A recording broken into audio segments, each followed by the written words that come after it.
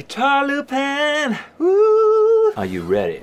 Last month I made a video in which I did a little guitar looping and you all wondered how on earth I did that.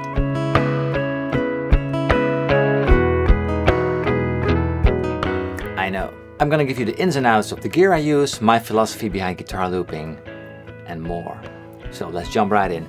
I'm using the Acoustasonic, the new Fender Stratocaster model, and I'm plugging it directly into my computer, into my interface, which is an RME Fireface.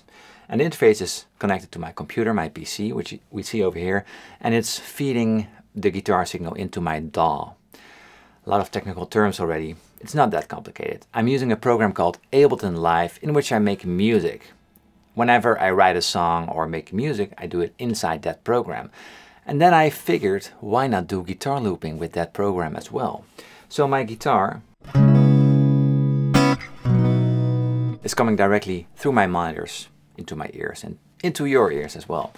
So, how does it work? What we see over here, all the boxes, are basically the boxes we see over here as well. And I can select different tracks. You see the highlighted track moves on to whatever track I select. When I long press that track, the track arms, you see the red button over there, the record button. Right now I'm starting to record on intro because that one is selected. If I record an audio inside one of these boxes, it is a clip. The first thing I played was three simple chords. C sharp minor, E major 7th, and A major 7th. With sometimes a G sharp on top. And I basically ripped this off from the song Speak Your Heart by Lizz Wright. Good inspiration, I call it. okay, I'm now recording my first layer. One, two,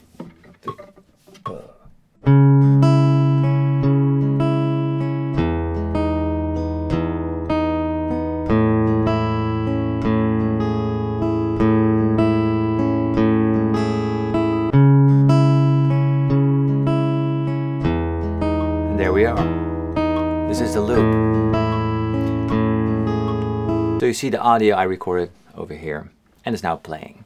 It stopped automatically because I pressed this button fixed length and it's set to 4 bars. So after 4 bars it stops. You can also control it with a foot switch which you can put into this so you stop whenever you decide. But it's always snapped to the grid and that's one thing I love about using a DAW because there is a grid and the grid is just a very nice guideline for you to record over. So that's basically what it is. So now this is looping and I select the next track. So I select doubles, we see the arm button and I can just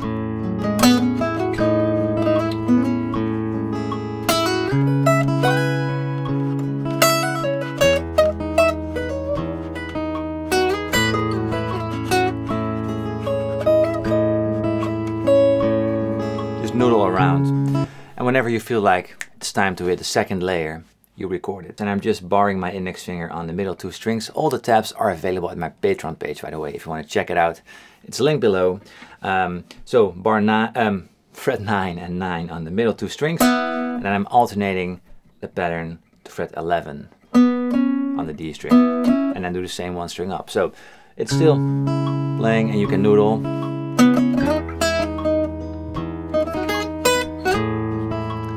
To record. And I press the record button and it just starts on the one, three, four, and.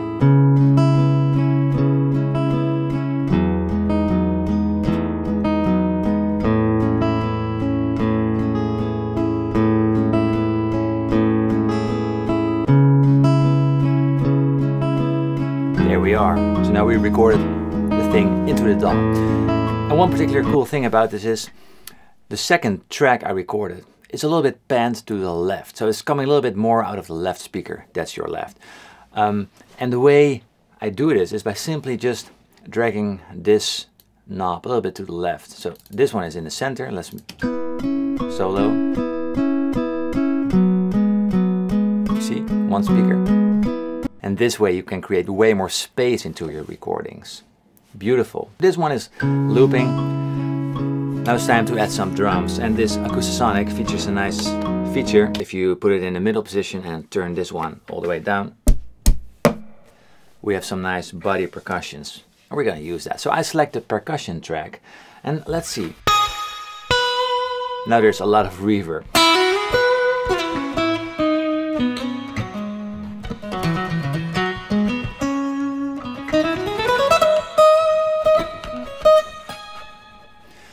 So that's one cool thing. You can just program each track. So on this percussion track, there is a reverb plugin and a lot of compression. So this helps making the percussive a little bit snappier and also the spacious of the reverb just sounds cool. And you also need to turn the volume down because it's clipping.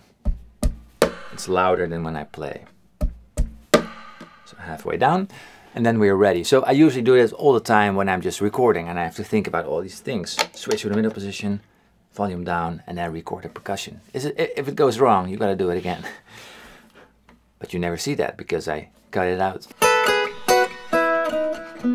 Okay, so we're rolling. And you can just noodle.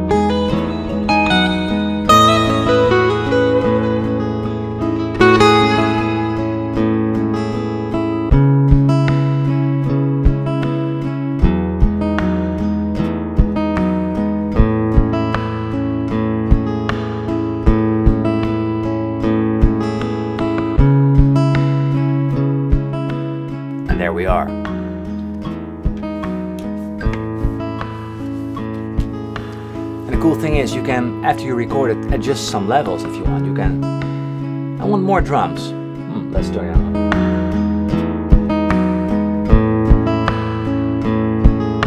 Delay on the drums.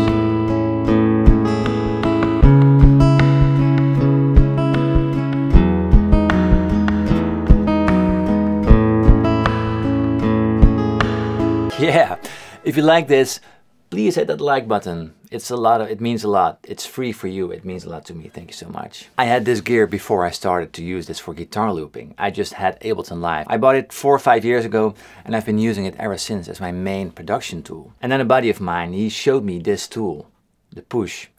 And he used it for production, playing piano on it, playing bass lines. And he was creating just his music with this tool. So I bought the first version of this secondhand just for fun and I was just playing around with it. And then I thought, hmm, can I do some guitar looping with my DAW instead of with the pedal? Because I can also add drums if I want.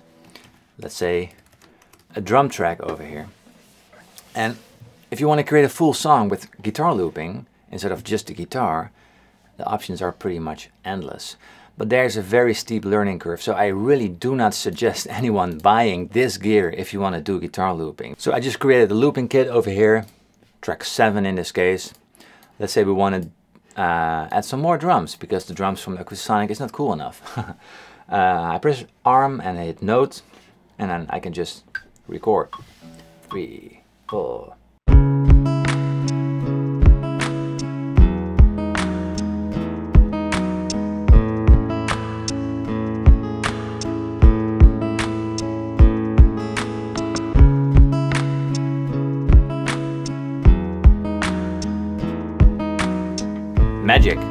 El Mágico. Alright, next up in the looping were the power chords because I can see from the track. So I select the power chord track, long press to arm. Again, you see the red button lighting over there. Now I'm moving up to a little bit more fat sound. For the power chord. So we were rolling and then we were playing. You just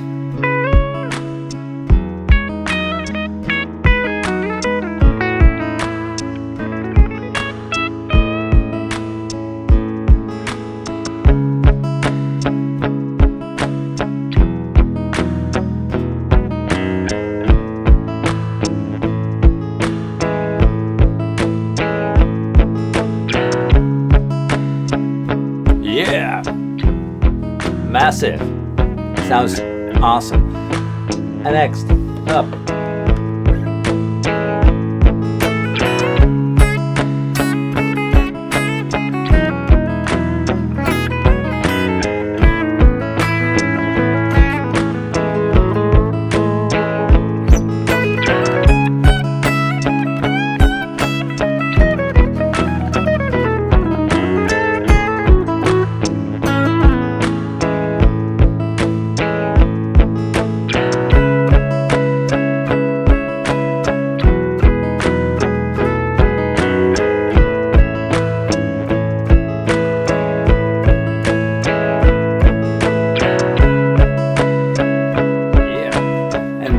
Last track I record is a little bit panned to that way, to the right speaker. That way for you. So we create space. It's basically the same part as the lower doubles. But then higher.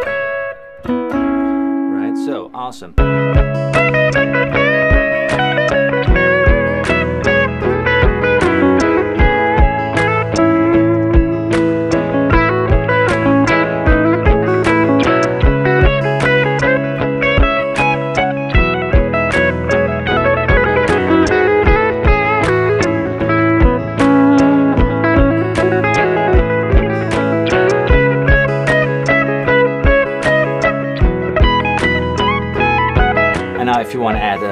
Last layer, whatever.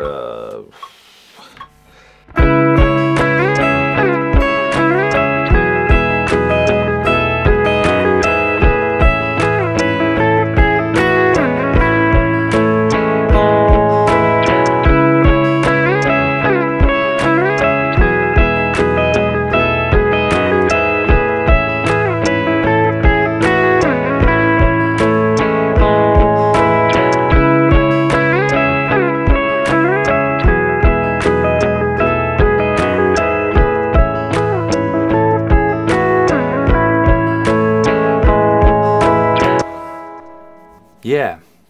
And that's basically how I did all my guitar looping videos as well. I made seven guitar looping videos in total. Check them out uh, if you like this stuff. To me it became second nature, like controlling the MIDI device, controlling Ableton Live. I know the programs inside out, so it's really, it's fun for me. But if you're new to this, I won't suggest anyone buying this to start guitar looping because it's just too complicated. It's too much hassle. You have to connect everything the right way. And But for me, it's already here. I use this stuff all the time for not guitar looping purposes as well. So for me, it's logical to use this because I have this stuff. Find your own ways, I should say. But because so many of you were interested in my methods, I figured I'd make this video. Also, if you like what I do, if you like my teaching, I made two guitar courses one for beginners, learn practice play, and one for intermediate players, next level playing. If you just want to have the full package instead of loose videos, you can check that out. It's a lot of fun, I guess. Do some soloing.